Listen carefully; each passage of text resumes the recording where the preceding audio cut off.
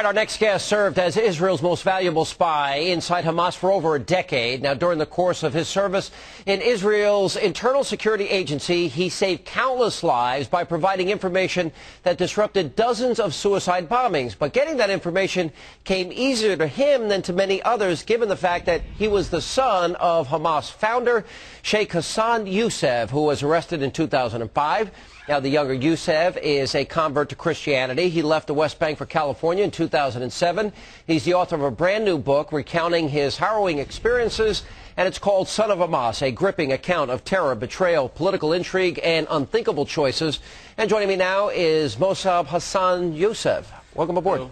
Thanks Thank for being here with Thank us. you. All right, well, well, first of all, I want to start with this idea that um, you describe Islam, and you, you basically point out that the, the highest level uh, that you were brought up with is jihad, holy war.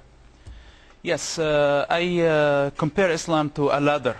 And uh, the first rung of that ladder starts with a traditional Muslim, and the highest rung of that ladder is jihad.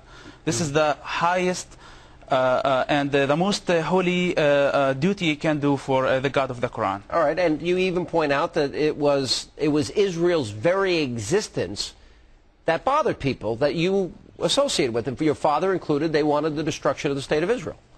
Yes, uh, uh, the God of the Quran uh, hates uh, Jews uh, anyway, if there was occupation or not. So the problem uh, uh, with the Jews that uh, with, the God of Islam, not with Muslims themselves. Yeah. All right, and your father, there was a suicide bombing, and you, you point out your father justified it. As long as he didn't do it, he felt he was justified in this. Yes, he justified the suicide bombing and uh, every uh, Hamas uh, leader uh, as as well. Yeah, all right. Let me ask you one thing that you said here. If I died fighting, at least I'd die and go to heaven as a martyr. You actually believe that if you killed innocent people and strapped a bomb on yourself, you believed you'd go to heaven. Absolutely, this is what every Muslim uh, believe. This is a promise from the highest authority in the Muslim society that you die for the glory of the God of the Quran, you go to heaven. And, and you believe you'd have 72 virgins waiting for you?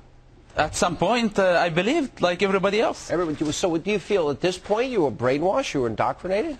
This is not about uh, being uh, brainwashed. This is how people grow up. Everything around you in that society tell you. School, street, every event that is happening around is telling you uh, those uh, facts about uh, Islam. All right, how did you become a spy for Israel? You were in jail with your father at one point, and they approached you.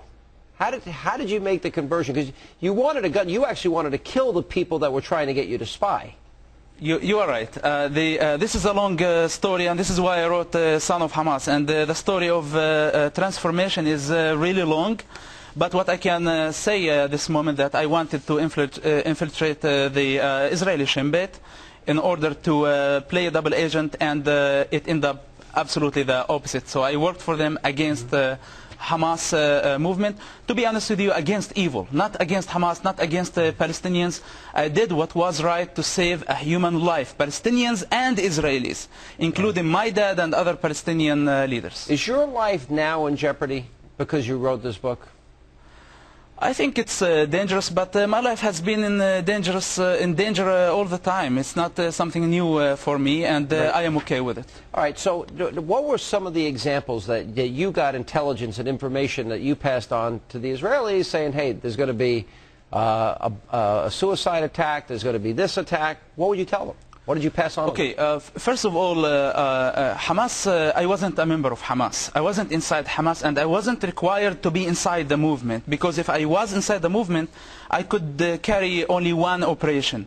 I was required to be outside and inside and close enough without getting involved to be able to uh, solve uh, many puzzles. I'm from that culture, from that religion. I understand the mentality of uh, terrorists, and uh, I know their names. I know uh, I, I don't have to listen uh, for what they're saying because I could understand what they're saying, and this is how we got successful. So you, you grew up with this mentality that you, you would be a martyr, that that was the highest form of Islam. The big picture, do, do, do most people that shared your faith, do they agree with you? Is this common? Because we keep hearing there's a distinction and a difference between radical Islam and mainstream Islam. This is a big mistake. Explain. Comparing between uh, uh, moderate Muslims and uh, fanatics. This is not how we compare it. I compare all, all Muslims to me are the same. the end of the day, they believe in the God of the Quran and they believe that this Quran is from that God. I compare And that between ji- you're them. saying that that Muslims, most Muslims think jihad is where they need to go. It's not uh, their uh, choice. This is what, uh, if they believe that the Quran is word by word from God. So when people, so let me ask this again. So when people say talk about moderate I- is Islam, you're saying it doesn't exist? it doesn't exist. But I tell you what, uh, what happens, that Muslims have moralities, responsibilities, logics more than their God. The most criminal, terrorist Muslim has morality, a minimum of humanity more than his God. Their God is a terrorist and ignorant. All right, last question. Um, you had a discussion with your father. He knows that you were working for Israel. What was that conversation like? he was absolutely forgiving, but when I went uh, public with the story, he couldn't uh, uh, handle the pressure from his God and from his uh, society. His God unskinned his humanity, and now he divided between me and him. All right, Son of Hamas. Fascinating book. I couldn't put it down. Thanks for being with us. Appreciate it. Thank you very much. And time now to check in.